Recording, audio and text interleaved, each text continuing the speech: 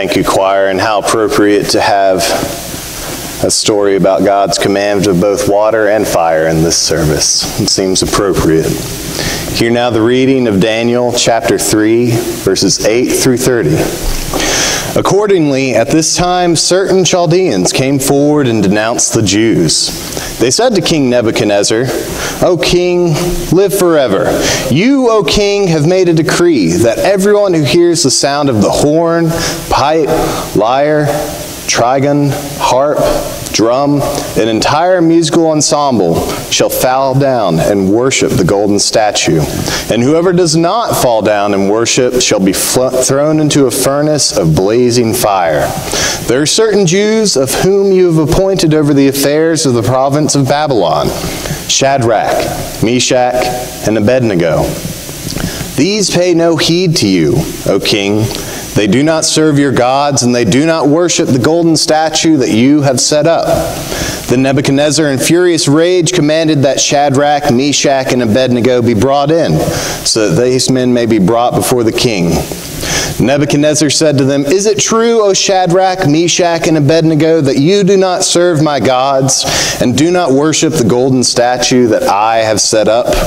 Now, if you are ready, when you hear the sound of the horn, pipe, lyre, trigon, harp, drum, and the entire musical ensemble, fall down and worship the statue that I have made well and good. But if you do not worship, you will be immediately thrown into a furnace of burning fire. And who is the God that will deliver you out of my hands? Shadrach, Meshach, and Abednego answered the king, O Nebuchadnezzar, we have no need to present a defense to you in this matter. If our God, whom we serve, is able to deliver us from the furnace of blazing fire out of your hand, O king, let him deliver us.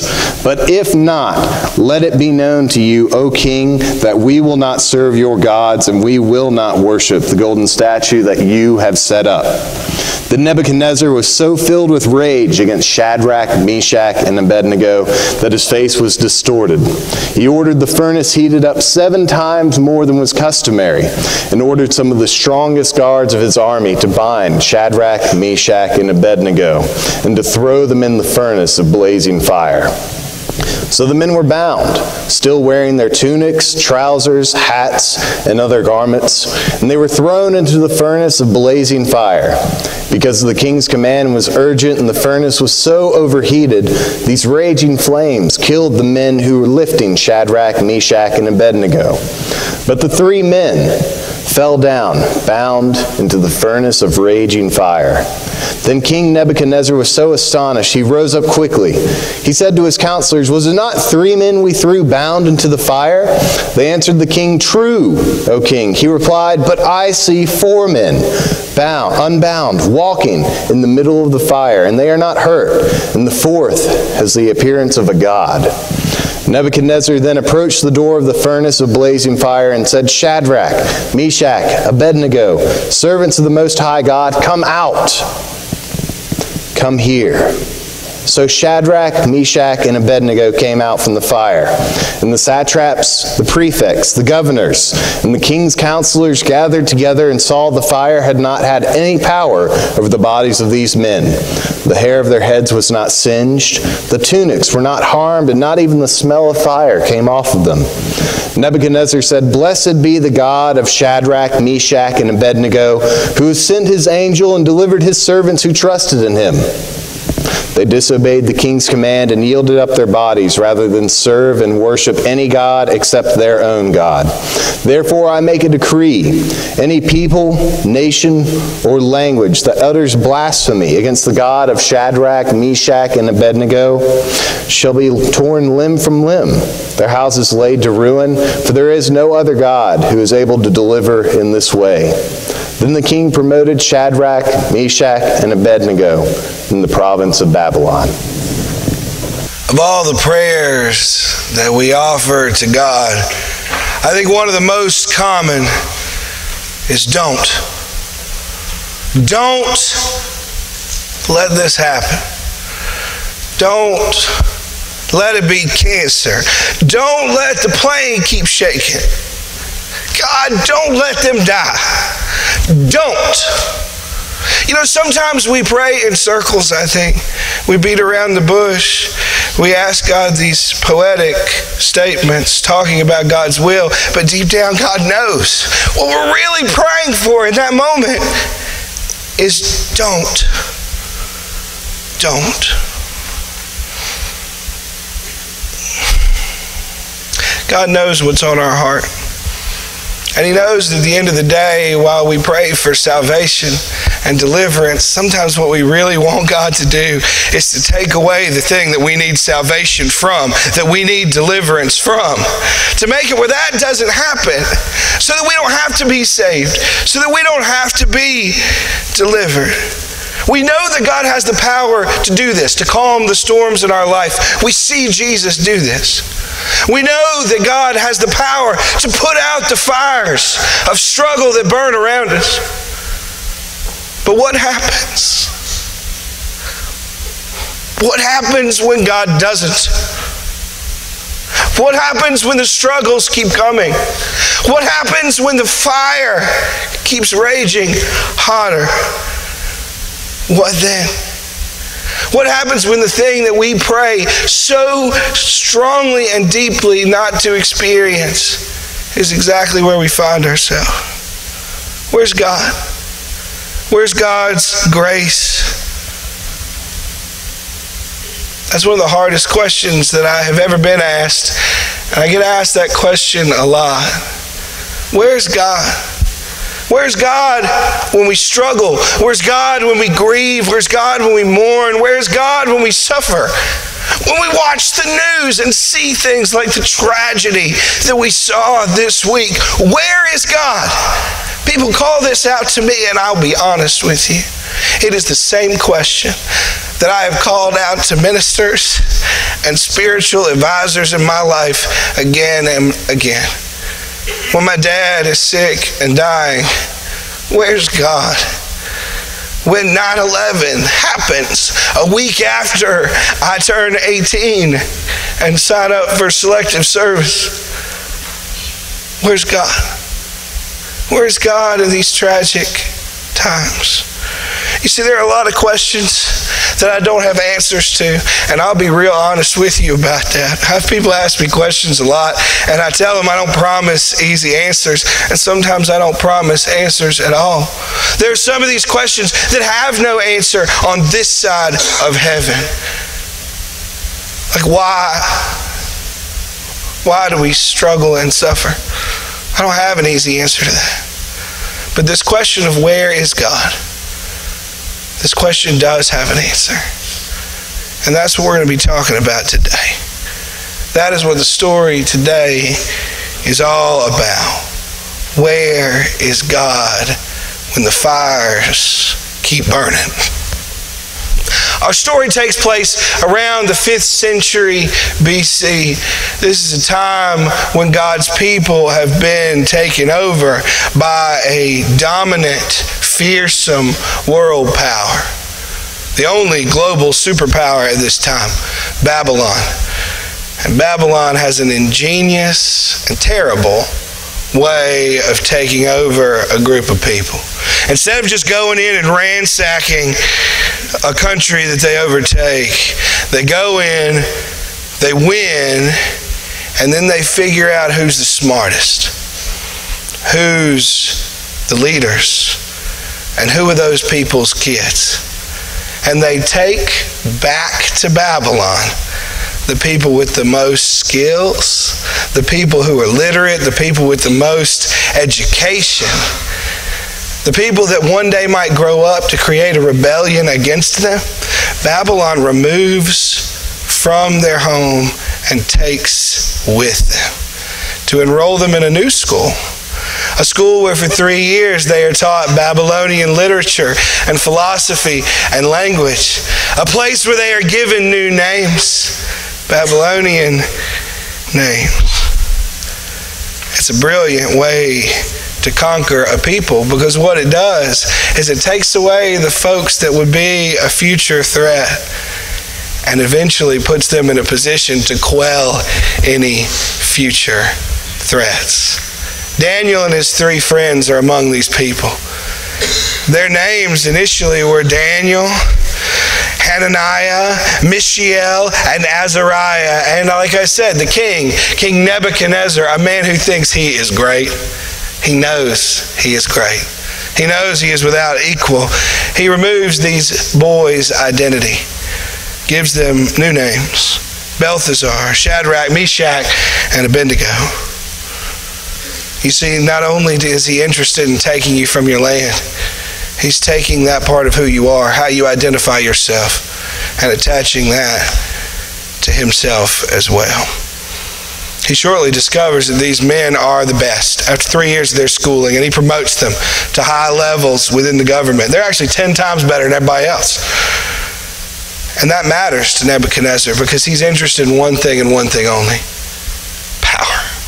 It is all about power. This is his obsession, his own power. He wants to make sure that every aspect of your life turns you toward him.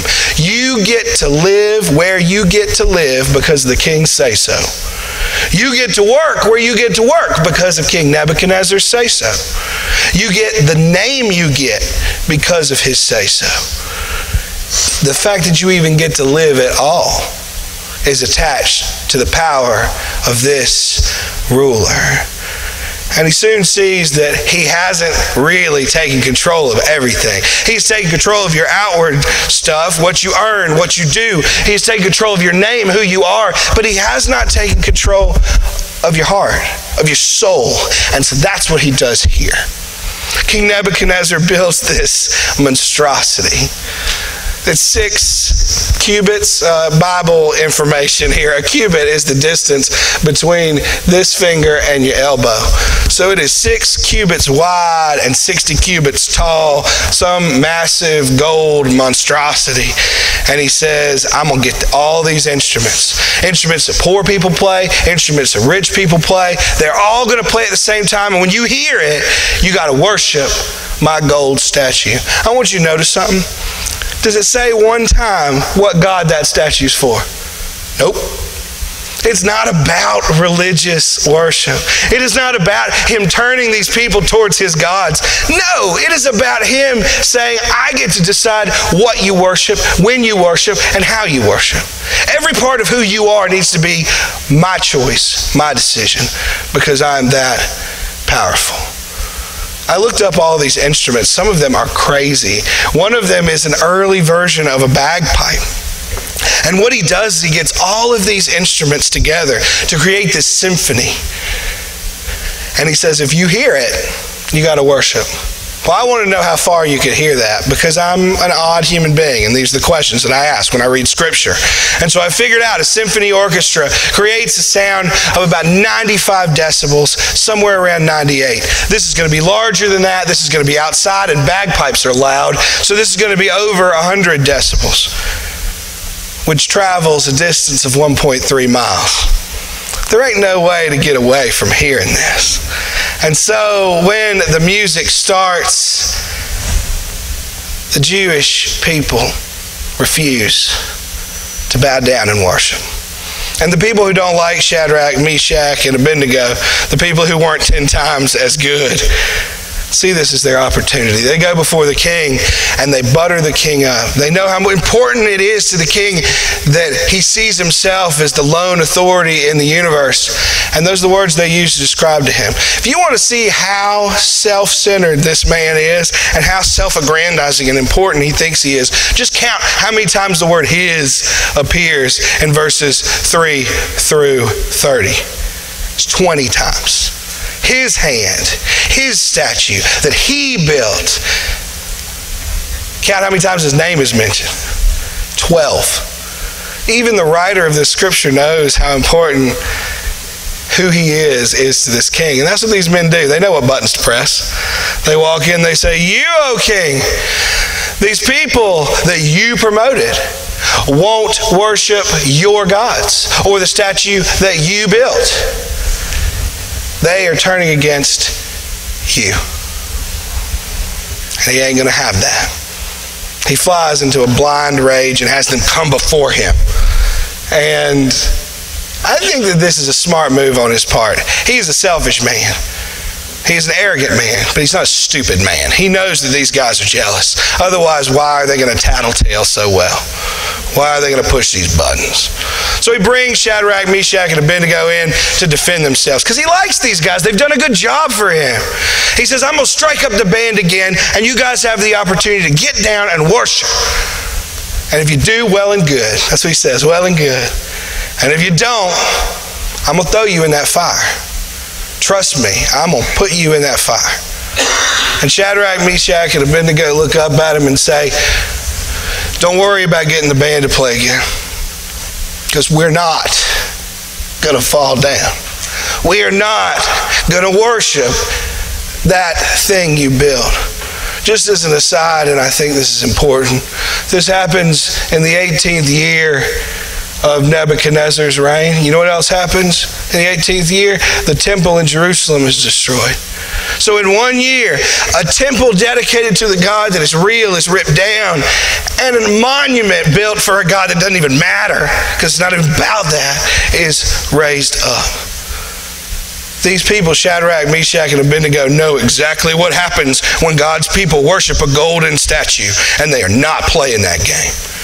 And they say to him, We're not doing this. And he says to them, What God can rescue you and deliver you from my hands? Look at the arrogance there. What God in the universe exists more powerful than me, the King of Kings?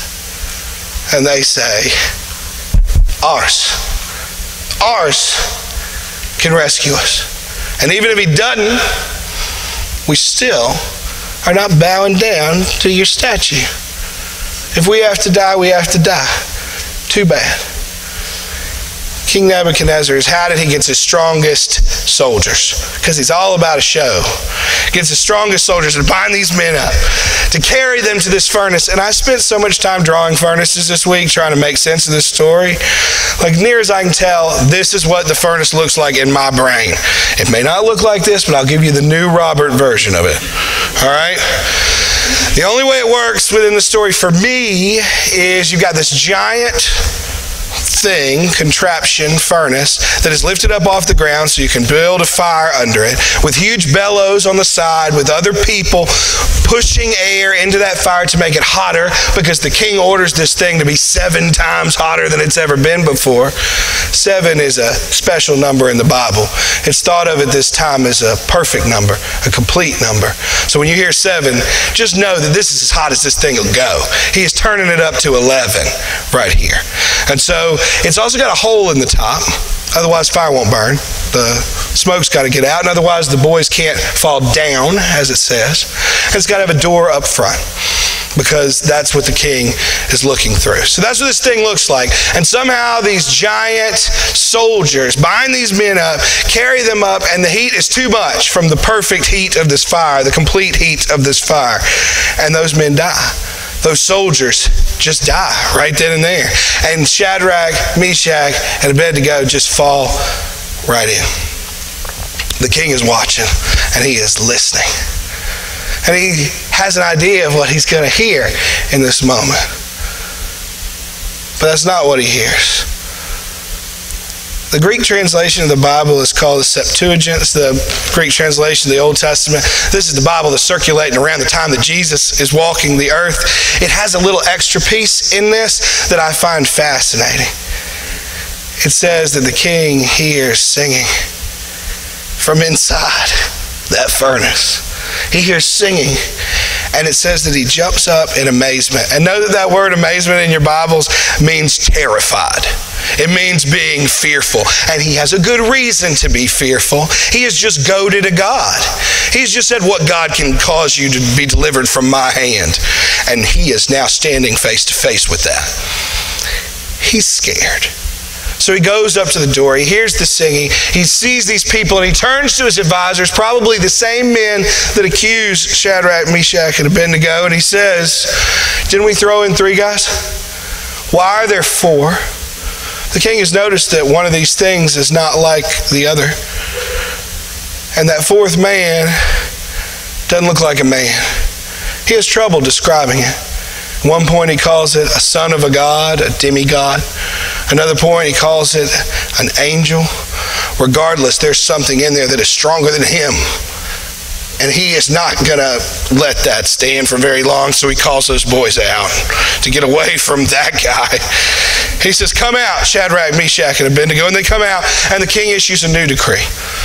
He says, Anybody who says anything bad about those guys' God who can deliver in this way, and only their God can do this, I'm going to kill you if you say something bad about them. And I'm going to tear your house down. Somebody could make the claim that the king has been transfigured in this moment, that he sees God, that he recognizes who God really is, and the glory of who God is. But I don't think that's what happens. I think the king is a master politician. Look at what he's done here. It started out, his whole desire was to pick who you worship. This has failed, but he found a way to turn what has happened to do exactly what he was doing before to dictate who you worship. Before it's if you don't worship my statue, you die. Now it's if you don't worship my statue or if you disagree with who these guys worship, you also die. He still wins. It has nothing to do with him getting better or learning something. He has an opportunity to grow and change, to admit a fault. But a powerful leader like this, an arrogant person like this, is not going to do that. They're going to twist whatever happens to fit their own agenda and to spin it for their own means. Now, a lot has been made about that fourth man. Who is that guy? Some scholars think that it's the same angel that helped Elisha or Elijah last week. We talked about Elijah laying under the broom tree and uh, God brings him through an angel a cake and some water. Some think it's the same thing. Other people go, this is Jesus. Let's just let's just go through all the reasons why. Son of God, check.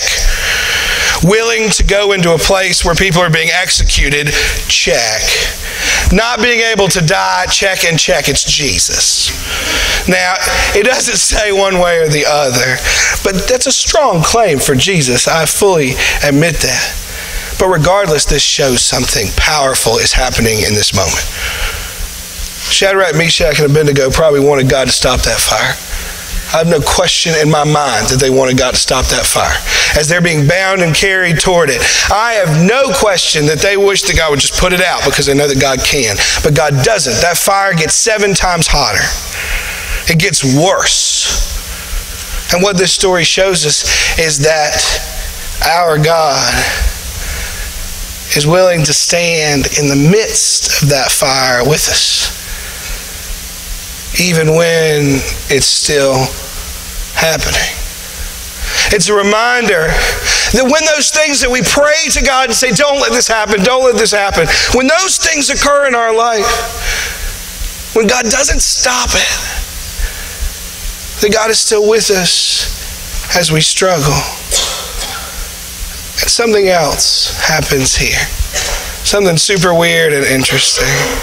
These men aren't burned, but when they come out of the fire, they don't have any burn marks on them and they don't smell like fire. I just want you to picture what happens here. Let's visualize it in your brain. You got all the leaders of this country governors, satraps, prefects, astrologers, the, the leaders. When Shadrach, Meshach, and Abednego come out of the furnace, what do they do? They run up to them and they smell them. That is really weird. Like, imagine uh, a, uh, a person who has been convicted to die. All the leaders of the whole country go and smell this guy. Like, that's what they're doing. Because it's showing something here that is even more powerful, I think. And it's one thing to say that something is more powerful than God standing in the fire. But the fact that God makes it where when we leave that fire, we don't even look like we've been through it. There's something about that that's powerful too. That we don't even smell like we've been through it. Every single church I've been to, there's these people, and they exist here too, and you know who they are.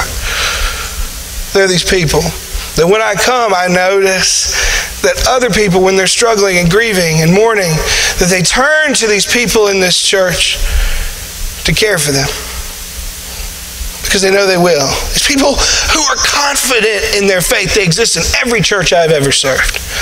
People who you look at them and they just seem like they are radiating with this confidence in who God is in their life. Me being the eternal pessimist that my wife will agree that I am, always ask the question like, have they just never been through anything?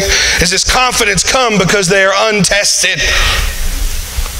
And I always learn that no, these are the people that have been through things that are beyond what I can even comprehend. And that somehow they are able to emerge in such a way that they don't smell like that smoke. They're able to emerge in such a way that their experience while it happened doesn't define who they are, but defines who their God is. So that's my hope for us today. I know that we're going to continue to ask God to fix it, to make the pain stop. And I also know that sometimes it's not going to. I don't understand why. I can't claim to. But I do believe that there's never anything that we can face where God isn't willing to stand there with us in the face of it and that God has the power to do something way bigger than the power of people on earth, no matter how big a statue they can make.